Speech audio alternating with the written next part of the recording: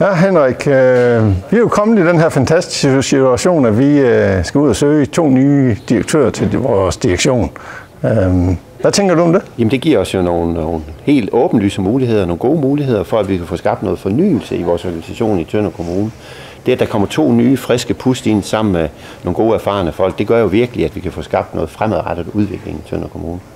Ja, så det bliver spændende at se, hvad er det for nogle spændende kandidater, vi kan trække til vores, øh, vores dejlige kommune. Og vi har jo rigtig meget godt at byde på i Tønder Kommune, Henrik. Jamen, øh, jeg glæder mig også til at se feltet, for jeg tror virkelig, at øh, det vil være attraktivt, det her. Mm. Og du har fuldstændig ret, vi har rigtig meget godt at byde på. Vi er jo en veldrevet kommune, vi har styr på tingene, vi har styr på økonomien, vi er ikke rige, men øh, vi har så godt øh, styr på tingene, så vi også er i stand til at lave en hel masse projekter, hvor vi kan udvikle på kommunen.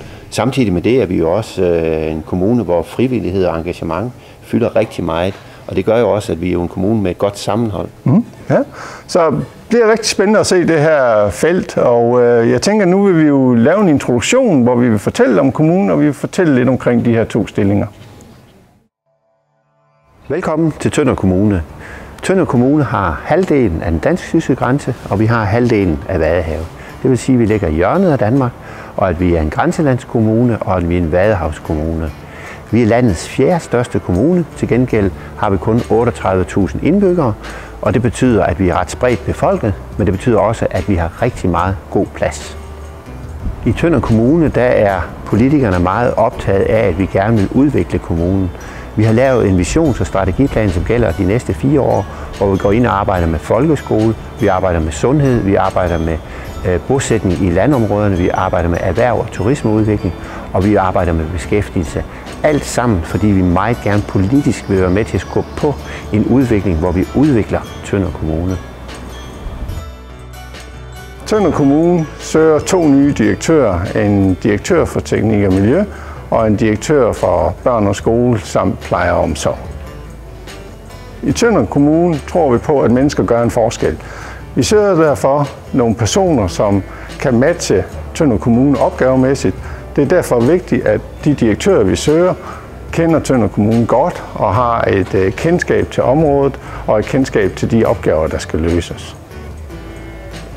Vi vægter det tværfaglige samarbejde i opgaveløsning. Det er derfor vigtigt, at I som direktør kan gå ind i en tillidsfuld dialog med både kollegaer, medarbejdere og politikere.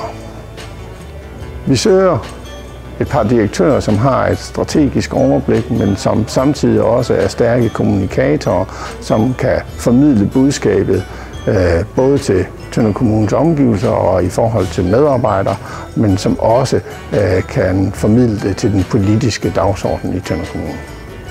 I Tønder Kommune er der sat et stærkt udviklingsfokus.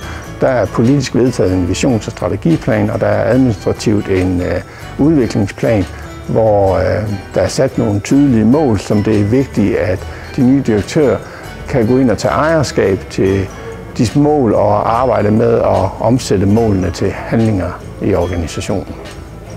Kan du se dig selv i en af de stillinger, ser vi meget gerne en ansøgning fra dig og ser frem til at møde dig til et personligt interview.